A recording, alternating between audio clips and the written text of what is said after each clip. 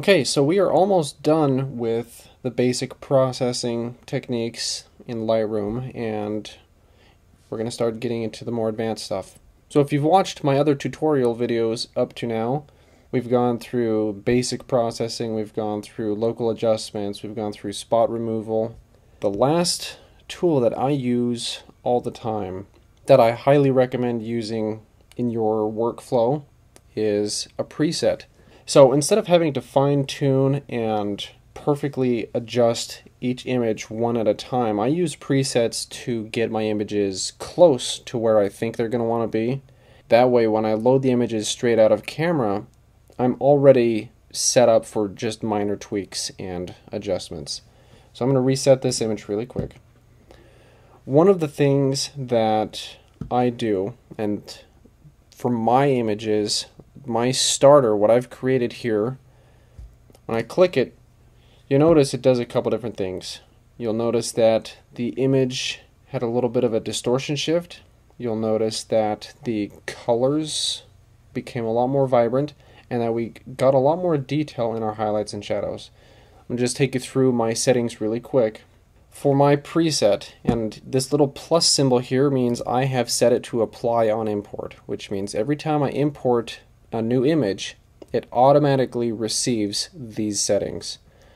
The reason I do that, we're going to go through the settings and you'll understand why I do that. So I leave the white balance and tint alone.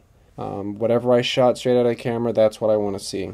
But I bumped up my contrast a little bit, and then I dropped my highlights and boosted my shadows. Now, as you can imagine, this doesn't necessarily look good on all the images, but that's not really the point. The reason why I set these three settings is because it helps me get a very quick understanding of the dynamic range capabilities for each image. So even if it starts to look grayed out and not so amazing, that's fine because what I'm looking at is my histogram right here. I have a clear understanding of what my whites are, my blacks, as well as my colors. And if you've gone through my other tutorials, we've talked about how I set all of my camera settings to shoot slightly desaturated and slightly decontrasted to give myself a more complete histogram. So I juice those up in order to get a grasp of what the raw image capabilities actually contain, and that gives me an idea of how I want to go about processing. So the last thing I do in this basic panel is I crank the vibrance up to 60 you'll notice it really, really works on your shadow areas, which is why these shadow areas are more blue than anything else. That is all the vibrance. It won't affect these highlighted areas. The rocks will lose a little bit of color, but if you watch it, turn it to zero. The reds and oranges relatively stayed the same. It's these blues and these greens in the shadow areas that really got cranked up. I leave my tonal curve alone. I leave my hue saturation, split toning, leave all of that alone. I do have settings for my detail because the nature of digital images straight out of camera just isn't sharp enough for what I want. So if we zoom into a 3 to 1 ratio, I want to be able to see nice crisp lines in all my pixels, especially on my horizon lines. I don't want anything to be fuzzy. So we turn off this detail panel, you'll watch it goes kind of blurry and it's not great. You can also see here in these flatter areas there's a decent amount of noise and grain. We don't we don't want that at all. So that's what I have my detail preset setting for. Through a long series of trial and error, I have found that these settings work well for my cameras and my style of shooting.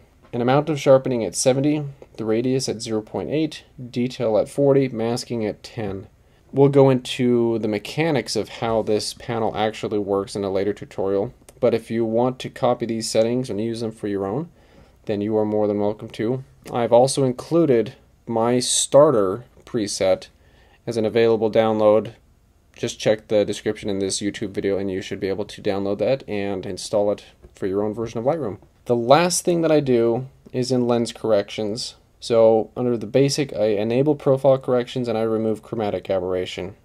Chromatic aberration appears when you have stark contrast in the image, specifically between a very intense highlight and a very intense shadow. You'll see it on lightning strikes, you'll see it on chrome, the you'll see it on those dramatic lighting settings more than anything else, but you'll you will see it in portraits and you'll see it wherever there are lines cutting through in or out of light light spots in the image. So, profile corrections. I enable profile corrections that lets Lightroom or Adobe really read the metadata and understand what camera was used, which lenses were used, and which profile to use for the lens to correct the amount of distortion that comes as a part of shooting through glass.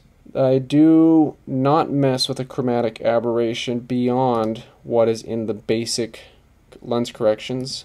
I do have it checked and I have both of them set to zero just in case the image has some chromatic aberration that I do actually want to fix.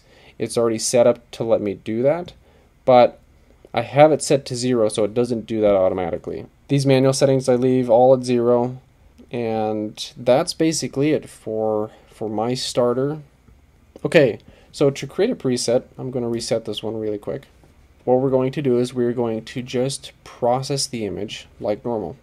I'm going to set my color temperature up to 6000. Set this up to 10. Really, I'm just giving Lightroom some settings to read so it can apply those later on to other images. I'm just going to try and get a basic look created here on Lightroom for something I think I'm going to like. I'm going to crank this up. Okay, blues are way overdone. We're going to fix them down here. And purples as well. That was a little bit too much. Fairly happy with the reds though. We can probably take our vibrance down a little bit. So after the hue, saturation, luminance. I'm going to put my sharpening up to 70. Set this to 0 0.8, 50, 10. Okay. Pretty happy with that. Um, and you know, let's let's throw a, a vignette on there.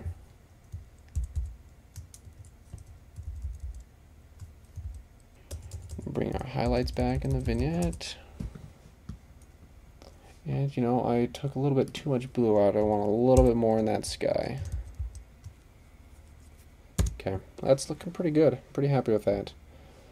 I'm actually going to drop my temperature down back a little bit. And I'm going to put some more red into it. Um, okay, so to create a preset, I want to be able to take these process settings and apply them to a new image, we're going to hit this plus button. I'm check none for now. So it's going to make me name it. It's going to make you pick where in Lightroom you want to save it. If you already have a preset folder created, you can select that or create a new folder right here. We'll call this Kolob Canyon. Okay, so from here, we're going to pick and choose which settings we actually want Lightroom to remember for the preset. So we're going to click a white balance, basic tone. We did not mess with tonal curve, but we did change our clarity, sharpening, treatment, color, noise reduction, lens corrections, and a vignette. So when I hit create, that preset will appear right here as a new preset in user presets because I did not select a different preset folder. And so now if I click on a new image, I'm going to reset this because it has a preset already applied. And we click our Kolob Canyon starter, watch what happens. It remembered all of those settings that we created for the previous image and it applied those settings to this image. Okay, so presets in here, we're good to go. You can apply that to any image you want. And you can create any number of presets for any number of image needs. Someone I'm going to highly recommend that you check out is Adrian Murray.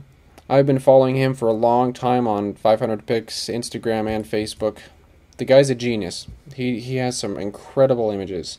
So this is his website, and under his shop he has a bunch of different presets and things you can download. His color and focus and the local adjustment brushes are incredibly useful. I use those all the time for my portrait work and he's he's got them for really really affordable prices.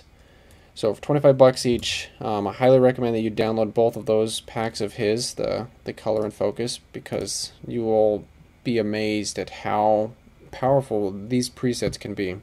So make sure to download my starter from the description in this YouTube video, and also make sure to go give Adrian a look and uh, stop by his website because he's got some great stuff on there.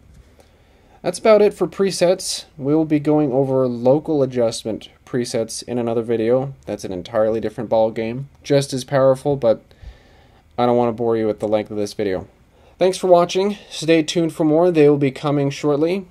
If you have a topic you would like me to cover or a technique that you would like to see in my next YouTube video, make sure to comment and let me know because I do pay attention to those and will be incorporating any suggestions you give me for upcoming videos. Thanks so much. We'll see you next time.